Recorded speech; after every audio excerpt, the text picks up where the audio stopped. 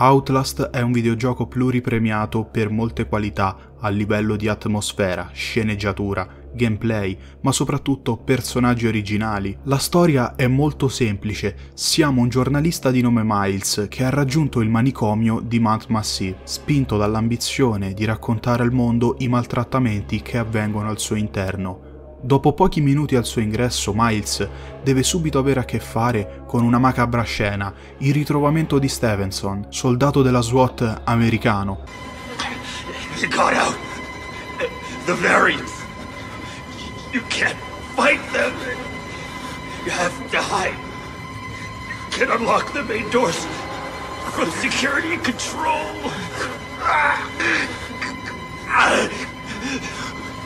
You have to get the fuck out of this terrible place.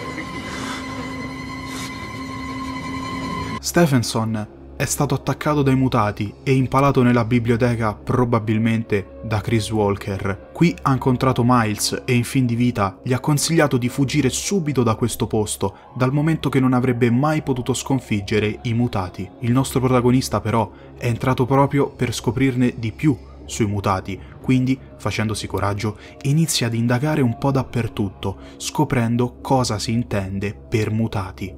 I mutati sono ex pazienti del manicomio che hanno perso la loro lucidità mentale a causa del progetto Wall Rider. Tormentati da visioni come sciami brulicanti di insetti e tagli chirurgici purulenti dovute al Wall Rider, i mutati sono completamente calvi e anche il loro corpo ha subito dei cambiamenti. Molti di loro, a causa del motore morfogenico, si dimostrano innocui, gusci privi di intelligenza, altri tendono ad attaccare se provocati e una buona parte di loro è aggressiva e consapevolmente cinica. Cercano addirittura di uccidere i loro simili, spesso per puro divertimento. L'ultima categoria di mutati, quella più aggressiva, di cui abbiamo appena parlato, si è dimostrata incapace del semplice ragionamento di aprire una porta e tutte le volte che ne incontrano una la sfondano o almeno cercano di sfondarla.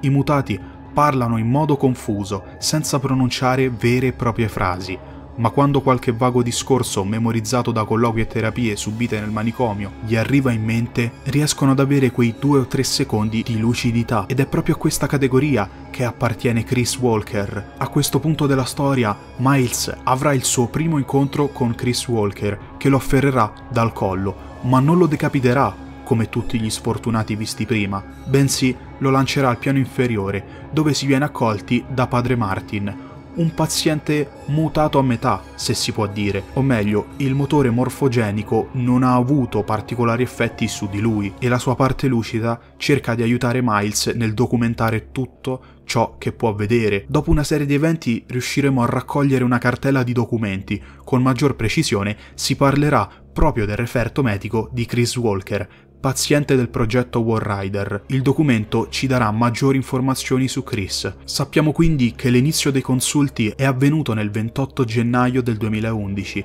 ma questo referto medico è di un consulto di due anni dopo, ovvero del 28 maggio 2013. Chris ha 32 anni ed è un ex militare.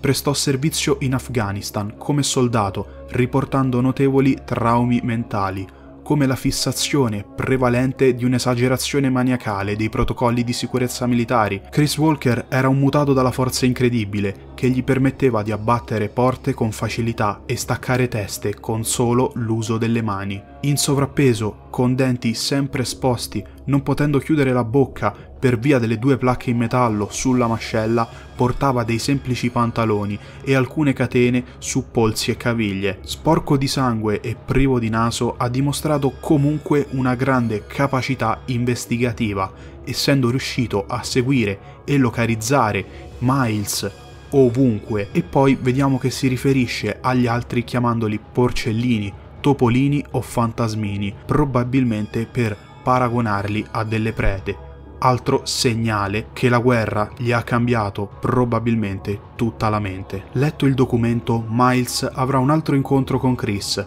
ma fortunatamente riuscirà a non farsi individuare, nascondendosi in un armadietto. Se tireremo fuori la telecamera in questo punto del gioco, potremmo notare che il protagonista prenderà appunti. Aprendoli potremo leggere queste parole. Il cazzone mi sta seguendo.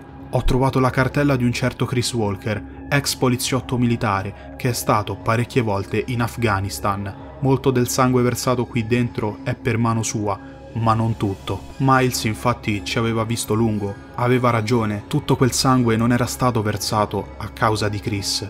Ma comunque, continuando la storia dell'ex poliziotto, lo ritroveremo anche nelle prigioni, dove ci darà filo da torcere insieme ai gemelli che cercheranno ancora di ucciderci. Ma non trovandoci, Chris decapiterà un agente che trova lì per caso. Più volte Chris Walker cercherà di prenderci, arriverà addirittura nelle fogne. Ma perché? Perché essere così ostinati nel raggiungere una persona che potrebbe benissimo morire a causa degli altri 2000 e passa pazienti? Ancora una volta non avremmo risposta e saremo costretti a scappare per le fogne, raggiungendo le docce femminili e maschili, riuscendo a tornare infine nel manicomio. Durante questo lasso di tempo incontreremo Richard Trager, che come sappiamo tutti ci priverà delle falangi di alcune dita, per poi morire per una sua distrazione. Arrivati nel cortile, troveremo di nuovo Chris, che ci seguirà ancora una volta, arrivando a darci la caccia addirittura quando ci troveremo nei dormitori dei pazienti, ma Miles lo aggirerà da una finestra e riuscirà a raggiungere i laboratori. Ed è proprio qui che il nostro amico incontrerà la morte. Finalmente Chris Walker troverà Miles ma mentre tenterà di ucciderlo, il Warride lo colpirà alle spalle e lo ucciderà brutalmente infilandolo in un condotto dell'aria. Ecco, soffermiamoci su questo. Tutto ciò che ha fatto Chris, secondo voi, è giusto? È giusto ciò che ha fatto? Vi siete mai chiesti il perché uccide senza pietà? Beh, voi penserete, perché è matto Croma, ovvio, ma invece ha intrapreso una crociata personale decapitando qualunque individuo gli capitasse a tiro, solo per cercare di contenere il Warride, evitando così che si risvegliasse, escludendo tutti gli impiccioni e ficcanaso che volevano sapere di più sul manicomio e documentare i fatti rendendoli pubblici. In questo modo il Warride non si sarebbe agitato, alla fine però con la sua poca lucidità qualcosa di buono stava facendo, salvare tutte le persone all'esterno del manicomio, uccidendo qualsiasi intruso. Ma Miles ha fatto arrabbiare il Warride, liberando questo spettro invincibile. Bene, ora che sapete come sono andate realmente le cose, chi è il cattivo in Outlast? Miles, che ha liberato lo spettro per tutto il mondo, come vediamo anche a fine Whistleblower, o Chris, che ha tentato di tenerlo calmo per tutta la sua permanenza al manicomio?